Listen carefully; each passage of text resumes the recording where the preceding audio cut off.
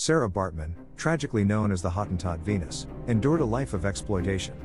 She was showcased in Europe due to her unique physical features, objectified and reduced to a dehumanizing spectacle. Her story sheds light on the 19th century's disturbing fascination with racial stereotypes and serves as a somber reminder of the injustices inflicted upon marginalized individuals. Despite her tragic journey, she stands as a symbol of resilience, sparking discussions about human rights and the urgent need to challenge historical wrongs.